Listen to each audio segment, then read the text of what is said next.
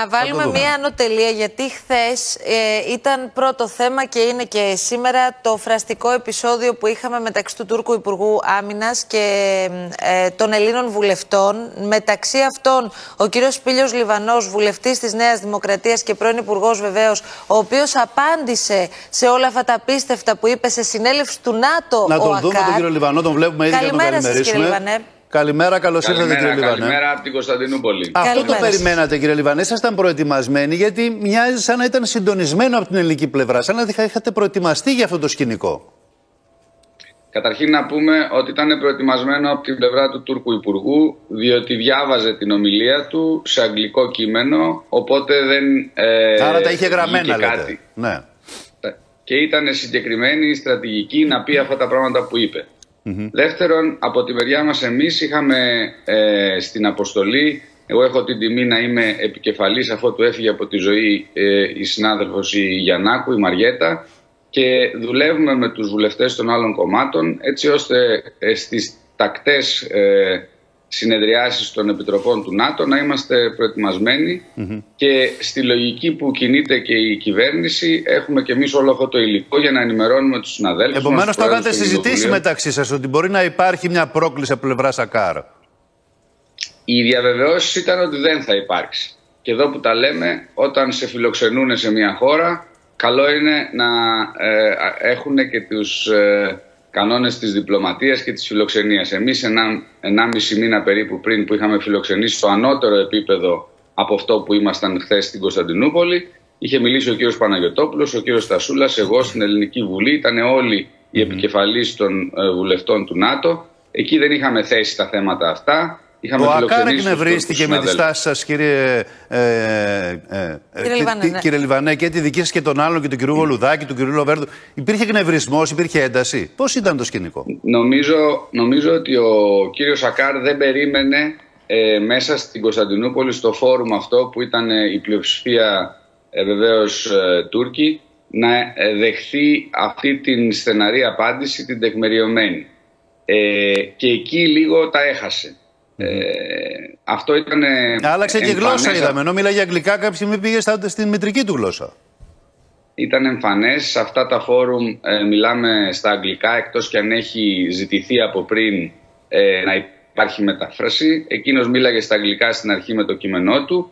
Όταν ε, ε, βάλαμε εμείς τα θέματα τα οποία του θέσαμε, τα οποία πρακτικά ε, είναι η αλήθεια και ε, ε, το διεθνές δίκαιο, εκείνος ε, πιέστηκε ιδιαίτερα στα θέματα που αφορούσαν ε, στην κατοχή της Κύπρου Και τον θέμα είδαμε της να τρομοκρατίας. αποχωρεί, κύριε Λιβανέ, και εκνευρισμένος. Μετά μας είπε ο Μανώλης Κωστίδης, που ήταν και ο μοναδικός Έλληνας δημοσιογράφος που ήταν μέσα στην αίθουσα, ότι συνεχίστηκε ε, η συζήτηση και αυτός ο έντονος διάλογος μεταξύ ημών με ύψιλον και του κυρίου Ακάρ. Ισχύει αυτό; Ε, όταν έφευγε ε, ο κύριος Σακάρο, ο οποίος ε, όταν τον αντιφώνησα εντός εισαγωγικών εγώ, δέχτηκε μια ερώτηση από έναν Λιθουανό ε, βουλευτή και στη συνέχεια τοποθετήθηκε και ο κύριος Βολουδάκης, ο Μανούσος συνάδελφος, για το θέμα των υπερπτήσεων.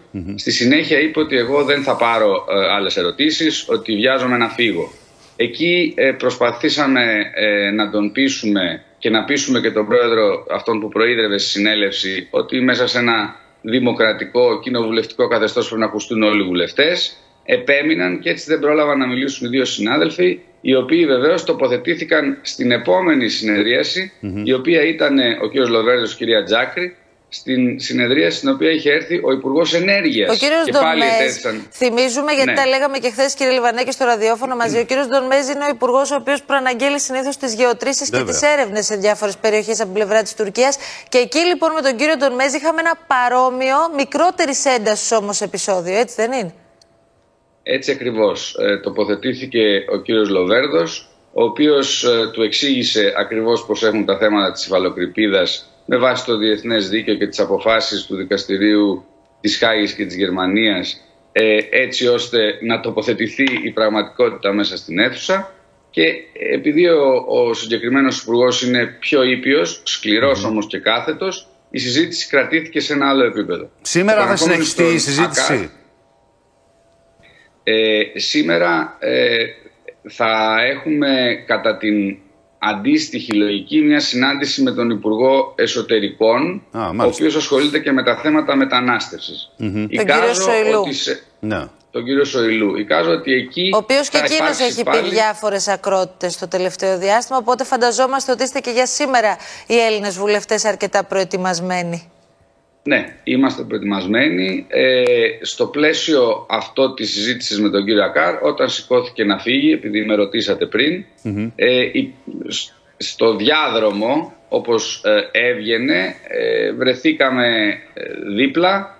Ήταν και ο συνάδελφός σας εκεί, ο, Μανώλης, οποίος αναγκάστηκε να κάνει και χρέη μεταφραστού, Βέβαια. διότι ο Ακάρ είχε έναν εκνευρισμό και μίλαγε Του ζητούσε στα, δηλαδή ε, του Μανώλη ο στα Ακάρ τουρκικά. πεστούς. Τους, του έλεγε να τους μεταφέρεις αυτό, μιας και μιλάς τουρκικά. Μίλαγε ο κύριος Σακάρ. Εγώ δεν μπορούσα να καταλάβω δυστυχώς γιατί δεν ξέρω τουρκικά, αλλά έπιανα δύο-τρεις φράσεις και ε, του μιλούσα, του έλεγα αυτά τα οποία εκτιμούσα ότι έπρεπε να του πω στα αγγλικά για να το καταλαβαίνει.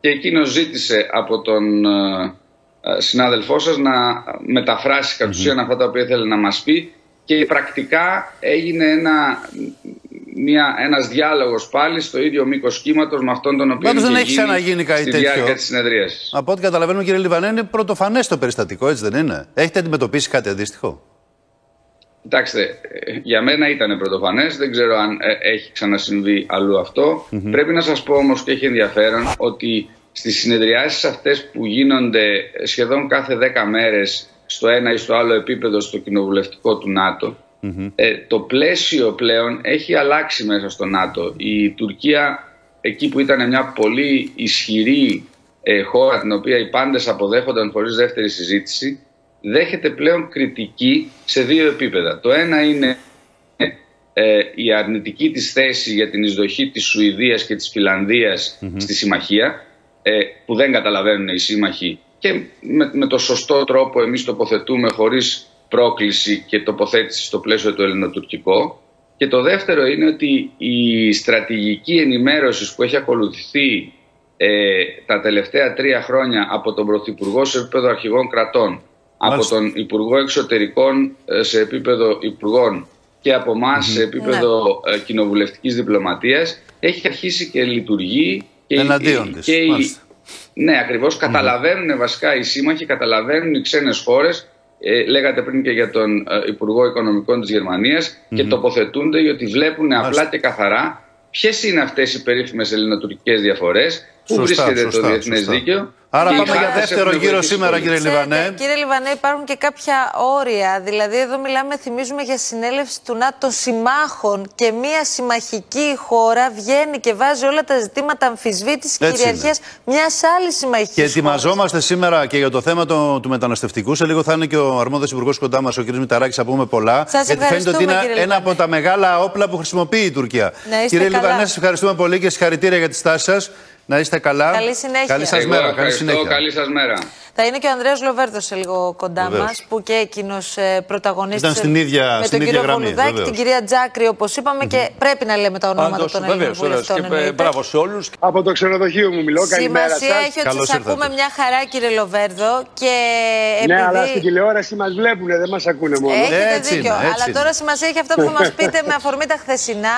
Χθες λοιπόν είδαμε όλους τους Έλληνες βουλευτές που ήταν παρόντες, μεταξύ αυτών και εσάς, να ε, υψώνεται ένα τείχος λογικής, θα λέγει κανείς, απέναντι στα παράλογα που ακούστηκαν από τον Υπουργό Εθνικής Άμυνας, ο οποίος, από ό,τι καταλάβαμε, κύριε Λοβέρδο, διορθώστε με αν κάνω λάθος, είχε έρθει έτοιμος για να δημιουργήσει αυτή την ένταση, έτσι δεν είναι; Είναι απολύτως έτσι. Δεν είχαμε μόνο στάση λογικής, αλλά και στάση πάρα πολλών επιχειρημάτων, πολιτικών και νομικών. Ε, ήρθε έτοιμος. Δεν ήρθε για να απευθυνθεί σε πολυμερές ακροατήριο, όπως είναι ένα ανατοϊκό ακροατήριο κοινοβουλευτικό. ήρθε με έτοιμη ομιλία την οποία διάβαζε και σε ένα κομμάτι της οποίας μετέτρεψε την πολυμερή συνάντηση σε διμερή ελληνοτουρκική.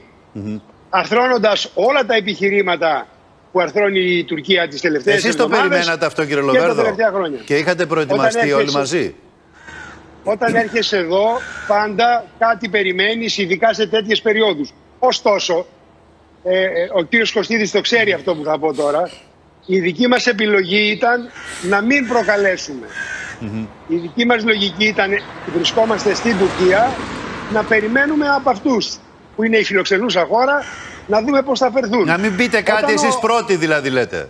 να μην προκαλέσουμε ούτως Μάλιστα. ώστε να πούν ήρθαν οι Έλληνες εδώ και μας προκαλούν.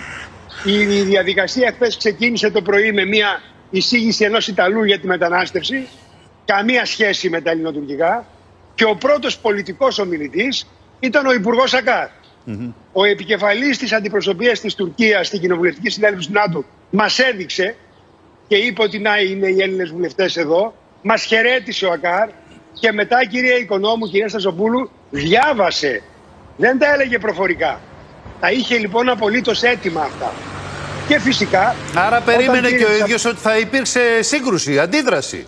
Δεν ξέρω τι περίμενε, πάντως ήθελε να διοχετεύσει στο εσωτερικό του ακροατήριο τη δική του ρητορική και τα δικά του επιχειρήματα. Μάλιστα. Εκείνο που ίσως να μην περίμενε ήταν η δική μας στεναρή αντίδραση.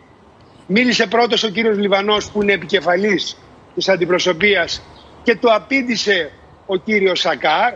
Στη συνέχεια μίλησε ο κύριος Βολουδάκης αφού παρανευλήθησαν κάποιοι ε, συνάδελφοι από άλλες χώρες και τότε άρχισε να τα χάνει, να, να θυμώνει, να μιλάει μία αγγλικά, μία τουρκικά να είναι το ύφος του, όχι ύφος υπουργού, αλλά ενός πολιτικού που τσακώνεται.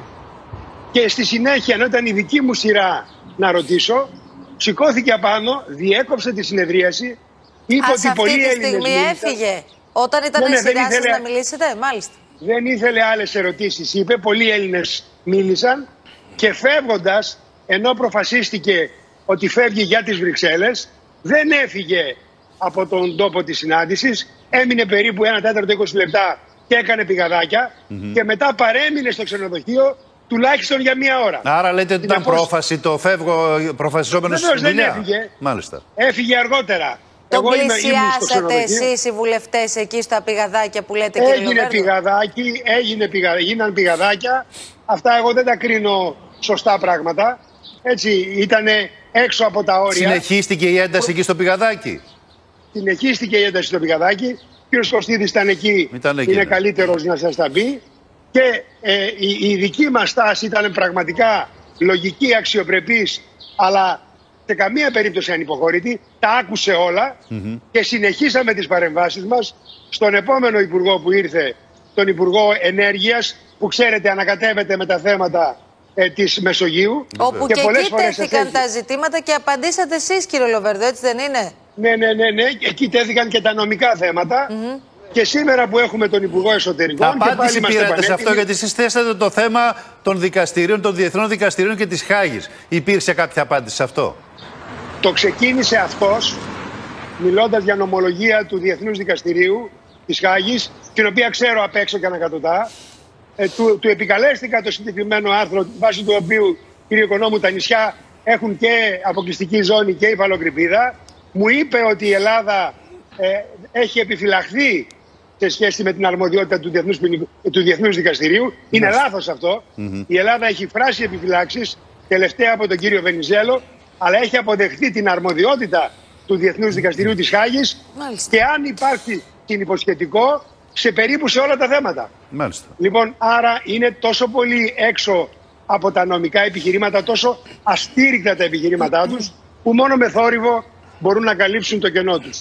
Σήμερα τι περιμένετε από τον κύριο Σοηλού, γιατί θα υπάρξει και συνέχεια ε, με τον Τούρκο Υπουργό Εσωτερικών, κύριε Λοβέρδο. Το, το τίτλος κυρία Στασοπούλου του θέματος είναι τα μεταναστευτικά, αλλά έχει και συνέχεια ο τίτλος και άλλα θέματα που σχετίζονται με την ασφάλεια. Μάλιστα. Εάν βάλει τέτοια θέματα, είμαστε πάνωπλοι να πάρει τις απαντήσεις. Η εκτίμηση μου Άρα είναι... είστε και εδώ σε κοινή βλέποντα- γραμμή. Ή Βεβαίως έχετε σε και κοινή γραμμή. διαφοροποιήσει. Καμία. Καμία. Μάλιστα. Καμία. Κοιτάξτε, όταν βγαίνεις έξω από τη χώρα σου, δεν είναι σωστό να μεταφέρεις, κύριε Οικονόμου, το εσωτερικό κλίμα.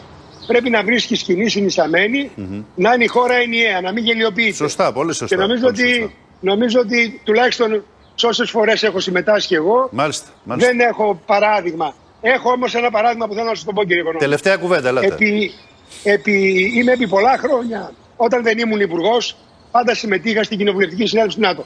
Ποτέ υπουργός χώρας ειδικά που φιλοξενεί, δεν είχε αυτή τη συμπεριφορά Μάλιστα. όπως είχε Άρα είναι ο ενδεικτικό, Ακάρ, είναι ενδεικτικό μια λοιπόν, βεβαίως, βεβαίως. στοχευμένη, Μάλιστα. απρεπής και προβοκατόρικη.